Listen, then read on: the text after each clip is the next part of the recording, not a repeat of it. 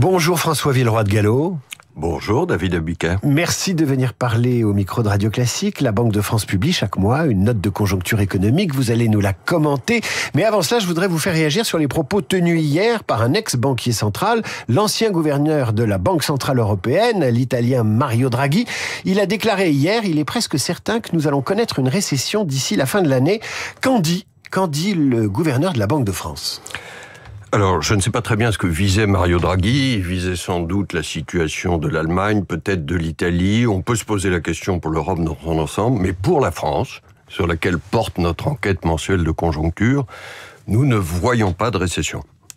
Nous voyons un ralentissement qui se confirme, je vais y revenir, mais nous avons une prévision de croissance qui n'est pas euh, très forte, mais qui est à plus 0,9% pour l'année prochaine, 2024, et aujourd'hui nous n'avons aucune raison de la modifier. Est-ce que c'est pas le rôle euh, des, des, des, banquiers euh, centraux, du gouverneur de la Banque de France, euh, d'être un peu moins pessimiste que des gens comme Mario Draghi qui ah, ne sont plus en responsabilité? Je ne crois pas du tout, parce que la Banque de France est indépendante. Je souligne très fortement ce mot, donc nous ne sommes pas euh, là pour servir le gouvernement ou telle ou telle force politique ou tel ou tel intérêt privé. Je vous raconte comment ça se passe cette enquête mensuelle, c'est le résultat du travail des hommes et des femmes de la Banque de France sur le terrain, qui interrogent chaque mois plus de 8000 entreprises de toute taille. 8500 pour être exact. Voilà, 8500, bravo David Abiker, dans tous les secteurs, dans tous les départements. Et il se trouve que c'est depuis des années le thermomètre le plus fiable de l'économie française à travers toutes les incertitudes qu'on a traversées. Pour vous citer un seul exemple, sur le troisième trimestre, nous avions prévu une croissance de plus 0,1 et c'est effectivement ce qui s'est produit. Alors qu'est-ce que nous disons cette cette fois-ci, ralentissement confirmé dans tous les secteurs, hein, l'industrie, les services, le bâtiment, mais une croissance qui reste légèrement positive. Nous prévoyons pour ce quatrième trimestre entre plus 0,1 et plus 0,2%. Alors, cette enquête a d'autres enseignements, je peux peut-être les dire. On va, on va les décortiquer euh, ensemble, euh, mais prenons par exemple, vous expliquez dans, dans, dans cette note un mensuelle que vous commentez en exclusivité ce matin sur Radio Classique et je vous en remercie. Vous expliquez qu'en octobre, l'activité a légèrement progressé, mais que les anticipations de commandes laissent anticiper une érosion de l'activité dans les semaines à venir. Bon, c'est le langage économique. En clair, ça va pas fort. Euh, c'est un ralentissement, encore une fois, je crois que c'est la confirmation de notre diagnostic. Il se trouve que depuis plusieurs mois, quand on interroge les chefs d'entreprise, ils soulignent l'incertitude qui est devant eux. Mais quand ils regardent ex post, le mois écoulé, l'activité a à peu près tenu. Les deux enseignements supplémentaires, c'est que sur l'inflation, je crois qu'on va vraiment dans la bonne direction. Euh, dans l'enquête, euh, il y a 6% des industriels qui disent avoir augmenté leur prix au mois d'octobre, c'est quatre fois moins qu'il y a un an. Vous voyez, donc là, il y a une, vraiment un freinage très sensible, et on va y revenir parce que sur l'inflation, on a vraiment des bonnes nouvelles. Il y a aussi un ralentissement de l'emploi. Ça, nous l'avions prévu, mais ça se traduit par une baisse des difficultés de recrutement des entreprises, même si elles restent élevées. On était à la moitié des entreprises ayant des difficultés de recrutement. On est aujourd'hui à 44%. Vous l'expliquez ça ou Alors, ce ralentissement de l'emploi, je crois qu'il tient au ralentissement de l'activité. Il faut cependant reconnaître que le ralentissement de l'emploi est bien moindre que dans des précédents cycles de ralentissement d'activité. Je vais vous citer un exemple très simple, David Abiker. Le précédent cycle de, de ralentissement fort qu'on avait eu, c'était il y a dix ans à peu près, après la crise financière. Et à l'époque, rappelez-vous, le taux de chômage était monté au-dessus de 10%. Aujourd'hui, on a un taux de chômage qui est entre 7 et 8% il va remonter un peu, mais on a une situation de l'emploi qui s'est quand même très significativement améliorée dans l'économie française. Donc ça, c'est un point positif. L'autre point positif, et vous voulez y revenir, vous avez raison, c'est euh, l'inflation et euh, la baisse de l'augmentation des prix. L'inflation n'a pas disparu. Alors, euh, il y a d'abord la donnée macroéconomique, et puis ensuite, on, est, on, on essaiera d'aller vers l'inflation ressentie par les Français. La donnée macroéconomique, c'est qu'il y a des prix de gros qui ont baissé? Euh, la donnée euh, macroéconomique ou la donnée d'ensemble, hein, ce mot de macroéconomique est toujours un peu mystérieux, c'est que l'inflation en zone euro, si on regarde l'ensemble de l'Europe, a été divisée par plus de 3 depuis un an. On avait eu un pic, on a peut-être un peu oublié, en octobre 2022 à plus de 10%, 10,6, et l'inflation est tombée à 2,9 en, en octobre dernier. Pour la France, les mouvements sont un peu moins forts. On était à 7% il y a un an, moins que la moyenne européenne, et on est à 4% aujourd'hui mais ça va dans le bon sens. il va y avoir de la volatilité probablement dans les prochains mois, des petites hausses, des petites baisses, mais quand je regarde dans la durée, la tendance est très clairement à la baisse.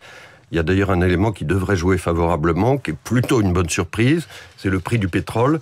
Souvenez-vous, on se demandait beaucoup ce qui se passerait sur le prix du pétrole avec, hélas, le conflit au Proche-Orient. Le prix du pétrole a plutôt eu tendance à baisser ces derniers jours. Est-ce que les Français vont le ressentir? Alors, je crois que les Français vont le, ressentir sur le prix à la pompe, même si le prix du pétrole reste toujours euh, assez volatile. Euh, ce que je veux dire ce matin, c'est que compte tenu de cette perspective claire à la baisse, je vais redire un engagement nous allons ramener l'inflation vers 2% d'ici 2025. Et ça, je crois que c'est un engagement très important. 2025, c'est loin quand même. Euh, ça arrivera peut-être. deux ans. Hein. Ça arrivera peut-être un peu plus tôt. Quand je dis d'ici, c'est au plus tard en, 2025. Mais nous verrons, comme je le disais, il y a des aléas mensuels. Et ça tient au prix de l'énergie. C'est vrai que ça aide. Ce que vous disiez sur les prix de gros, ça tient aussi à l'alimentaire, parce qu'on commence à voir un ralentissement de l'inflation alimentaire avec les prix de gros agricoles qui se sont retournés, mais ça tient aussi à tout le reste. Alors tout le reste, on n'en parle pas souvent, c'est les prix des services, des biens manufacturés qu'on achète, ce qu'on appelle dans notre jargon, pardon, l'inflation sous-jacente. C'est en fait la plus grosse partie de la consommation des Français.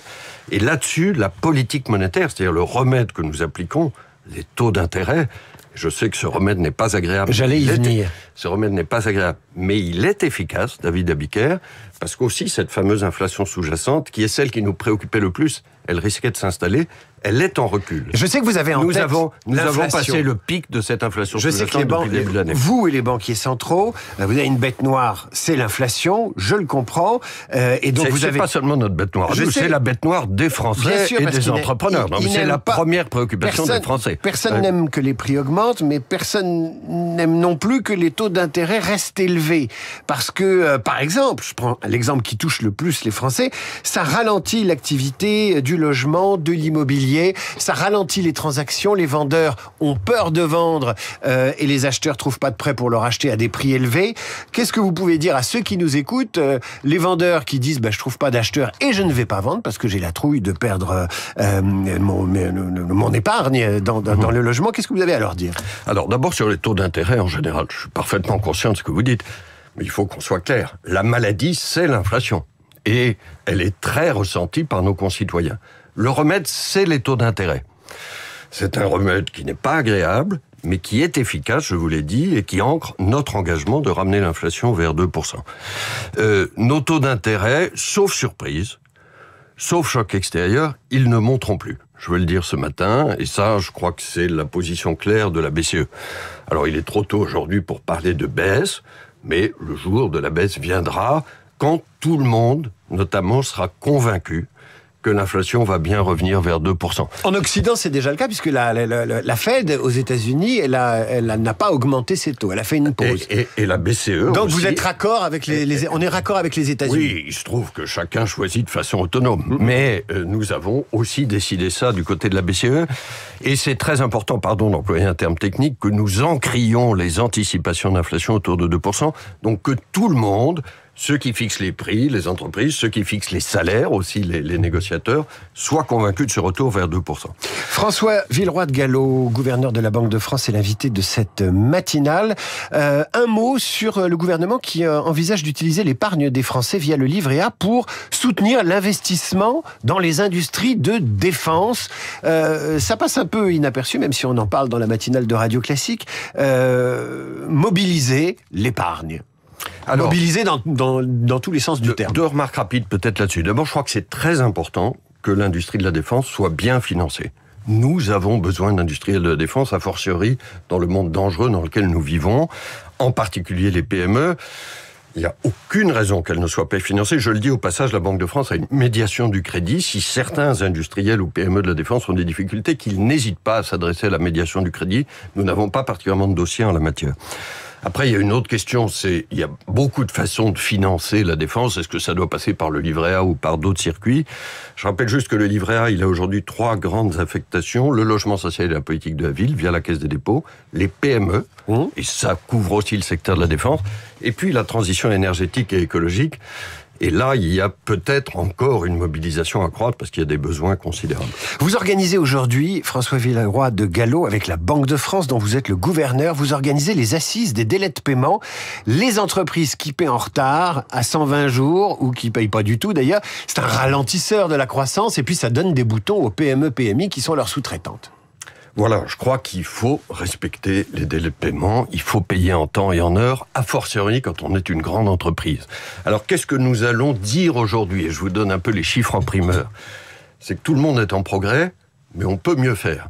Il y a une baisse moyenne des délais de paiement en France de deux jours. C'est la moyenne de 14 jours à 12 jours. Waouh Bon, mais il y a quelque chose du côté des grandes entreprises où elles peuvent mieux faire. Je vais vous citer deux chiffres. Euh, les grandes entreprises, ça vous surprendra peut-être, mais l'année dernière, enfin sur les bilans 2021, il y en avait moins de 40% qui payaient leurs fournisseurs sans aucun retard. C'était pas assez. On est passé à 45%. C'est un progrès, mais 45% seulement. Il faut faire mieux. Et du coup, nous, Banque de France, on a pris l'initiative depuis l'an dernier de nous intéresser dans la fameuse cotation Banque de France au comportement de paiement. Et si une grande entreprise, on a pris les 5000 meilleures entreprises solides, etc., qui n'ont vraiment aucune raison d'avoir des retards de paiement. Et si elles ont des mauvais comportements de paiement, nous dégradons leur cote. Nous le faisons sur 5000 entreprises et nous avons été amenés l'an dernier sur les bilans 2022 a dégradé 635 entreprises. Ça, je crois que c'est un signal fort. Vous donnez des noms ou pas vous donnez, vous donnez, des noms ou pas Nous ne donnons pas de noms parce que la cotation Banque de France n'est pas publique, mais je peux vous dire que chacune de ces entreprises le sait parfaitement et nous avons eu un dialogue serré. François Villeroy de Gallo, un dernier mot qui est une remarque de ma part. Pensez-vous que ces grandes entreprises qui se gargarisent à longueur de communiquer et d'actions de communication de leur responsabilité sociale et environnementale, pensez-vous qu'elle se moque du monde? Parce que quand on paye ses fournisseurs en retard, eh bien, on n'a pas de responsabilité sociale. Je laisse l'environnement de côté. Écoutez, je crois... Tartufferie ou pas tartufferie? Je ne prononcerai pas sur, sur, ah. des, sur des mots à la Molière, mais je vais partager totalement votre regret une grande entreprise, elle doit être exemplaire à la, en la matière, elle en a les moyens, et puis elle a une forme de responsabilité sociale et économique et la banque, vis-à-vis de ses fournisseurs. Et la Banque de France, elle paye ses fournisseurs à 30 jours, 90 jours et, et, la Banque de France, elle paye ses fournisseurs en temps et en heure, nous, nous, y veillons, euh, et euh, je vous dis, nous contribuons à travers cette action sur la cotation, à travers aussi toute notre action, c'est nous qui assurons le secrétariat de l'Observatoire des délais de paiement, à ce que les choses s'améliorent. Encore une fois, il y a des progrès, mais on peut mieux faire, notamment pour les grandes entreprises. C'est ça l'objet de nos assises aujourd'hui. François Villeroy de Gallo, merci d'être venu parler sur Radio Classique ce matin. Je rappelle que les notes de conjoncture économique de la Banque de France sont accessibles sur banquedefrance.fr et que les assises des délais de paiement, ça commence aujourd'hui sous votre égide. À suivre le rappel des titres à la revue de presse d'Hervé Gattegno, tout en fanfare, vous verrez ça. Suivi d'Esprit Libre avec Franz-Olivier Gisbert. C'est euh, aujourd'hui jeudi, donc c'est Fog évidemment. François Villeroy de Gallo, merci.